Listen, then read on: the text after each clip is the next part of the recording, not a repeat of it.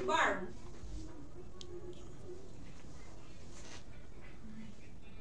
Vai lá, Raquel, abre lá. Abre o portão lá, e pegou o carro lá dentro.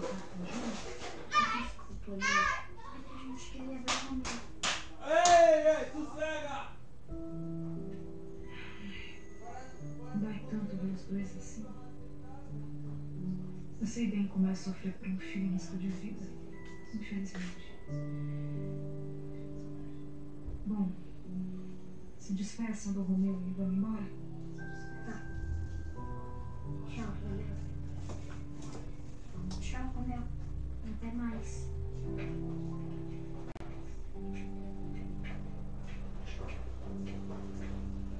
Você vai sair dessa, primo. Vai ficar bem logo.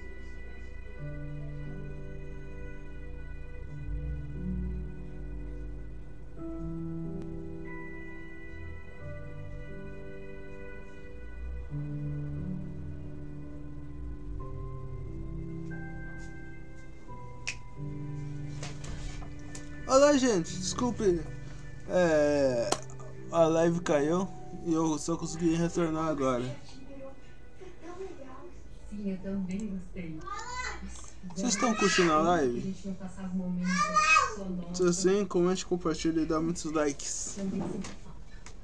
Eu tô pensando em fazer live duas vezes por semana. Amanhã vai ser a live só de conversa com a galera e alguns desafios massas. O que vocês acham? Vocês acham legal? Pelo menos uma vez por semana. Isabel? Então, essa é que é a sua mãe. Sim. Ela até conseguiu um tempo pra gente poder almoçar junto. Olha só que bom. Muito prazer, eu sou a Clara. Prazer, Suzana. Seu conselho deu certo, viu? Muito feliz. Sabe que a Trapaça é a líder dos Podozeiras? Nossa, pedalzeira? O que é isso? É, é, o, é o nome da turma que ela formou com os amiguinhos, não é? E aí, vocês querem conversar um pouco ou fazer um- alguns reacts é ainda? muito grande para exercer papéis de liderança. Vamos fazer alguns reacts massa. É nata. Vocês ah, ah, terminaram de assistir o. ah,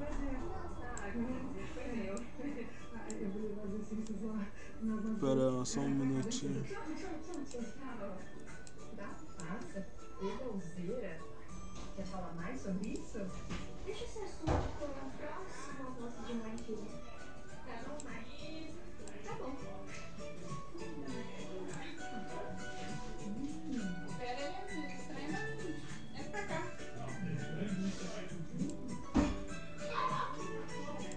É, espera só mais um é minutinho.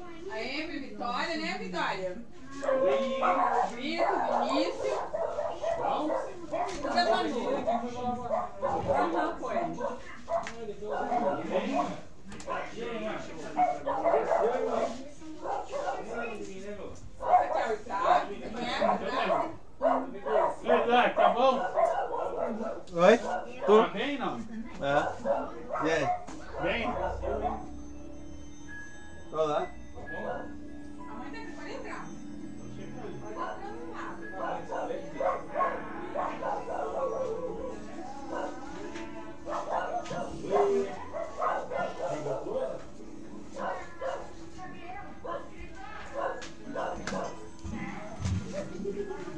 Então, gente.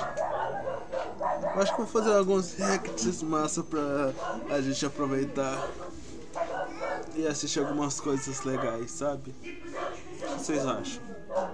Vocês acham legal?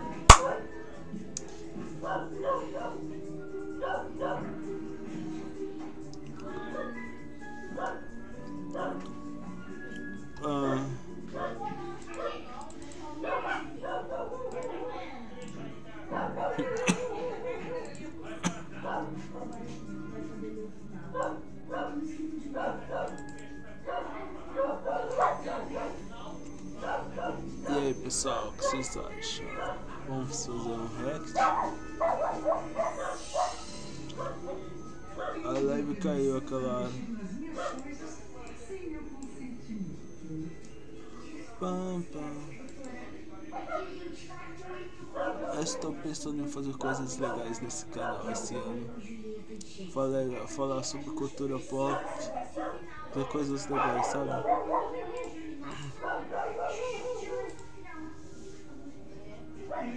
Fazer coisas legais, sabe?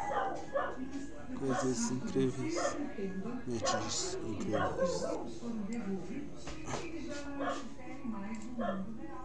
Vamos fazer uns reacts master. Vocês que são novos no canal, se vocês quiserem inscrever no canal, se inscrevam. Ajuda o canal a crescer. O Leão e a Nelson estão online, ao vivo.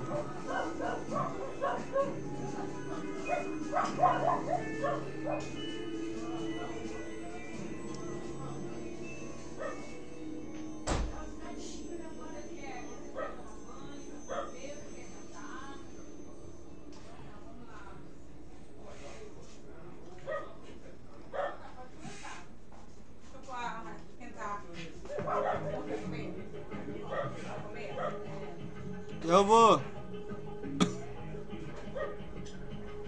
Vocês assistem a Jéssica Belete e a Thaís? pequenininho. É... Mi... Nostalgia. Não. Haha, SBT. Ah, vocês assistem qual... Qual... Qual é a empresa de estúdio que vocês mais assistem? Pedro, tá aqui seu papá, ó. Quem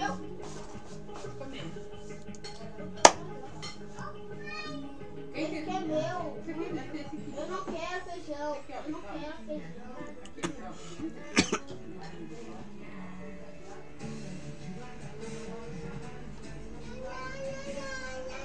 Come, Vitória.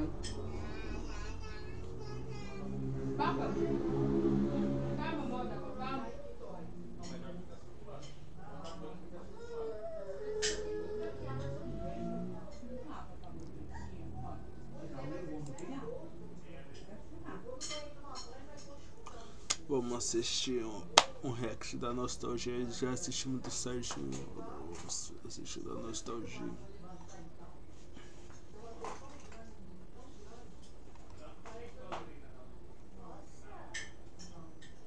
Hum.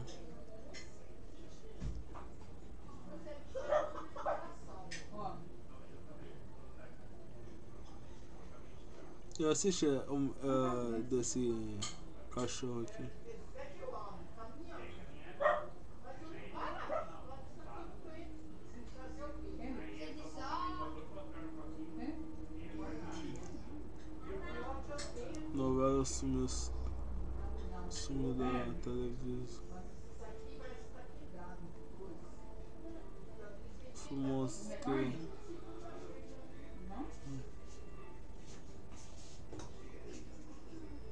Funções perdidas. E a pouco sumiu.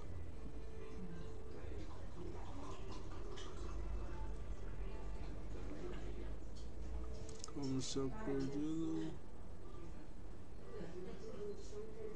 Guardando PD contra. tá, papá. eu não não tomava água, não tava, não peguei, não dormia aí. A história do pinguim.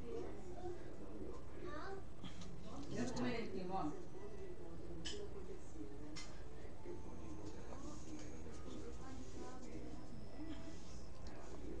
Isso. É,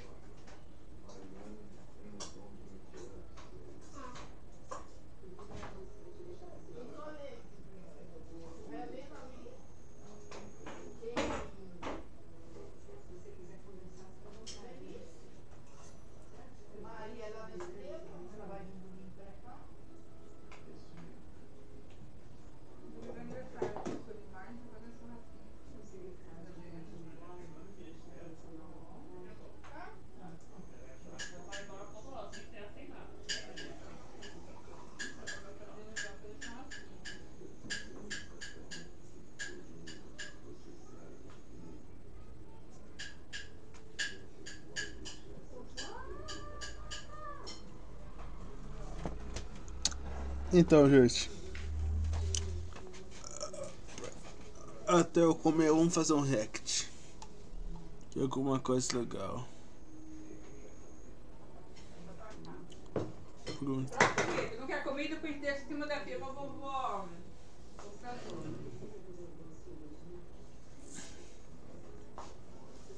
Mídia proibida. Como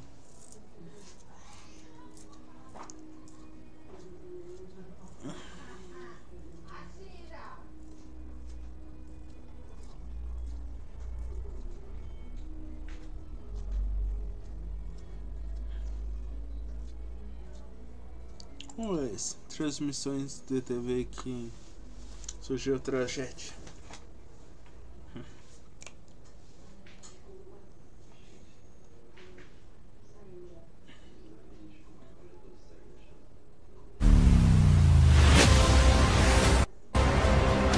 My parents made me what I am.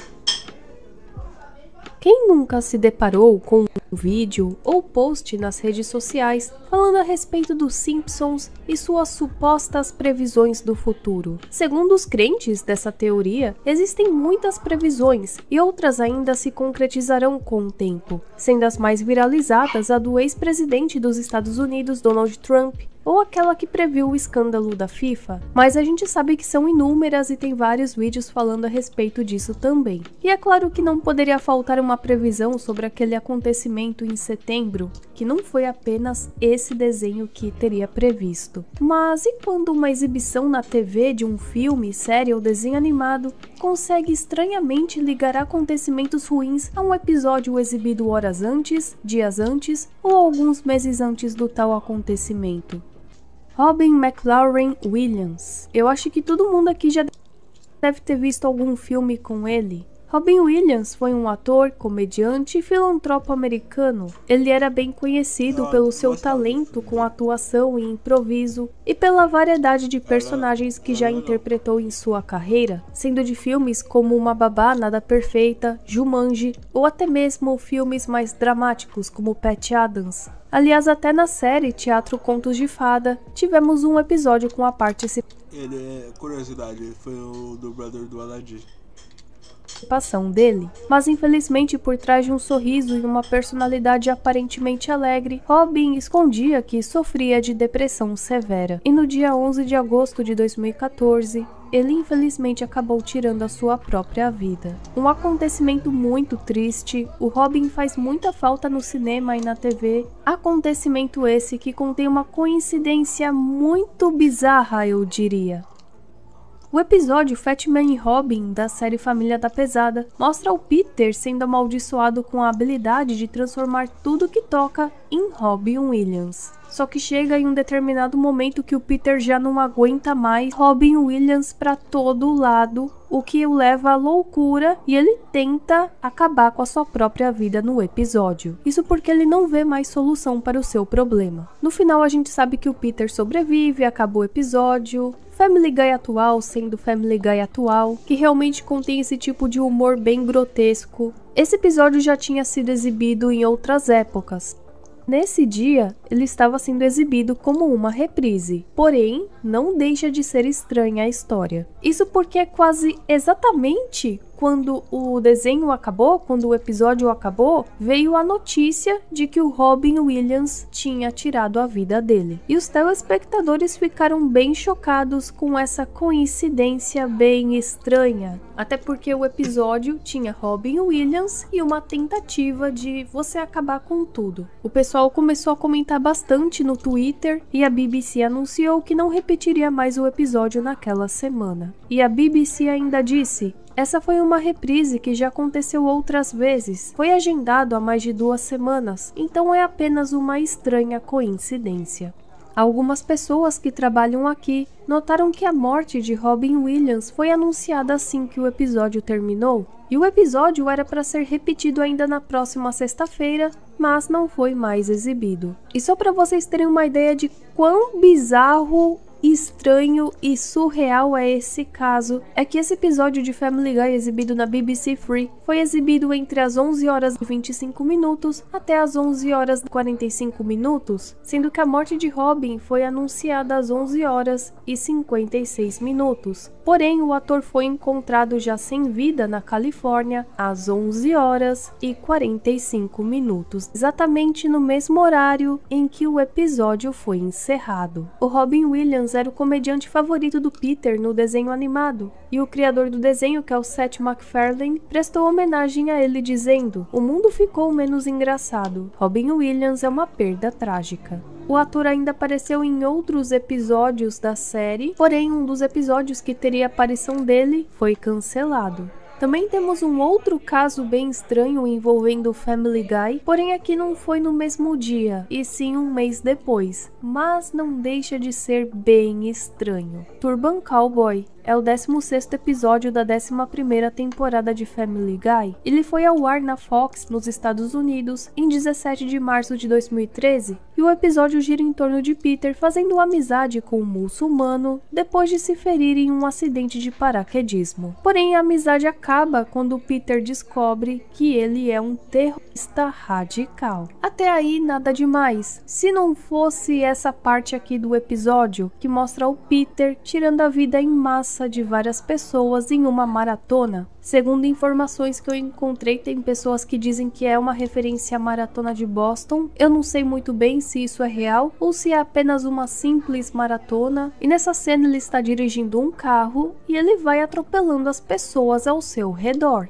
Cerca de um mês após a exibição oficial desse episódio, nós tivemos aquele acontecimento na maratona de Boston. A Fox prontamente removeu o episódio da grade de programação, além de remover o episódio da Fox.com, Amazon e Hulu. Porém, em setembro de 2022, o episódio passou a ficar disponível no Hulu, além de ser disponibilizado em DVD. Agora são 4 horas 10 minutos, horário de verão. Estamos interrompendo a programação com uma informação preocupante e importante demais. O avião que transportava a delegação da Chapecoense para a Colômbia caiu perto do aeroporto de Medellín. Em 29 de novembro de 2016, o avião que levava a delegação chapecoense para a partida de ida da final da Copa Sul-Americana na Colômbia caiu nas proximidades de Medellín. A aeronave transportava jogadores, a comissão técnica e jornalistas. O caso parou o Brasil e a comoção foi grande, mas o que alguns podem ter esquecido é da estranha exibição de um filme na Globo que aconteceu no dia 28 de novembro de 2016, às 10 horas e 15 minutos da noite. Nesse dia e nesse horário, a Globo resolveu exibir o filme Voo de Emergência na tela quente, que até então era inédito na emissora. O principal tem uma rachadura e tem uma parte faltando. Não podemos decolar assim. Amanhã, voo de emergência na sua tela quente.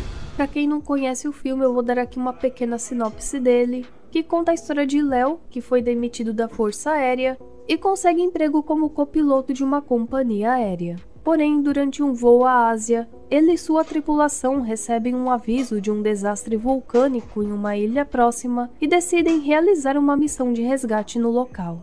E o mais curioso é que o filme foi exibido poucas horas antes da tragédia que atingiu o time da Chapecoense. Isso porque o filme foi exibido das 10h15 até a meia-noite e 5. E o acidente aconteceu a 1 da manhã e 15 minutos, no dia 29 de novembro do mesmo ano. Muitas pessoas na época acharam isso bem estranho. Eu lembro que muitas pessoas comentaram na época no Facebook e até mesmo no Twitter que foi uma baita de uma coincidência bem estranha exibirem um filme onde a gente tem um avião em uma situação de emergência e logo em seguida ter acontecido o tal acidente.